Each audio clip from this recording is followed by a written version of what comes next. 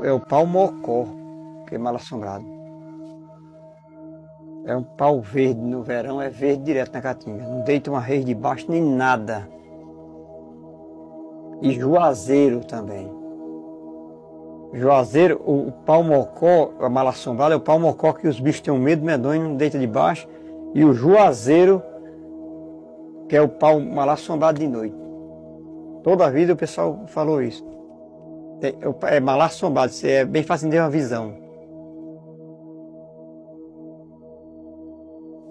Rapaz, não tem quem entenda isso aí. O pau mocó chamado é um pau é de verão a inverno é verde.